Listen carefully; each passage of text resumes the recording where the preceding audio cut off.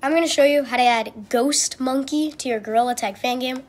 So, yeah, the first thing you want to do is go to the link in the description. It'll bring you to a Google Doc with some code in it. You just want to take it all and then copy it and then go into your Unity project. In your scripts area, you want to right click, click Create, C Sharp Script and name this freeze mod. Capital F, capital M.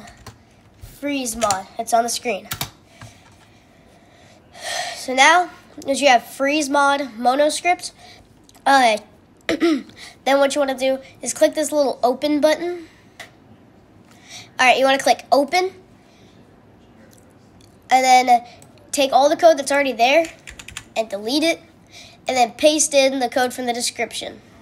Now just click File and Save, and then you can exit out of that. Alright, so now I've been doing this thing where I've been doing tutorials on how to add different mods. So what you want to do is right click, create empty. Make sure it's an empty. And you don't have to like right click, you can click this little plus right here and then click create empty. But whatever, just create empty. And then name that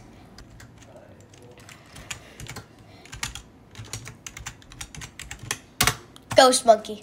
So now that I have my Ghost Monkey thing, you want to add component, make it the freeze mod script that you just made. Hand choice, uh, set this to right hand. That's just the usually the right one. And then where it says my manager, drag in Photon VR manager. So now what you want to do is uh, also also on this, just this uncheck this right here then you will need to follow an enable and disable tutorial. I said that at the beginning, but you just want to make your enable and disable buttons. So here, let me do this real quick. So this one will enable, this one will disable.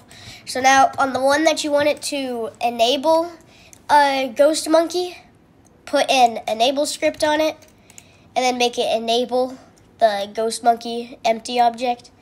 And then for the one you want it to disable, put in the disable. And then put in the ghost monkey. And the ghost monkey should work now. So now everything should work. That's how you add ghost oops, ghost monkey to your Gorilla Tag fan game.